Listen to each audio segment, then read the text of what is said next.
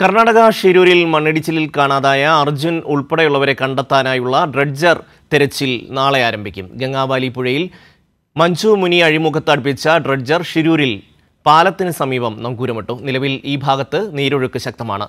വേലിയിറക്ക സമയത്ത് പാലം മറികടന്ന് യാത്ര വീണ്ടും തുടങ്ങും.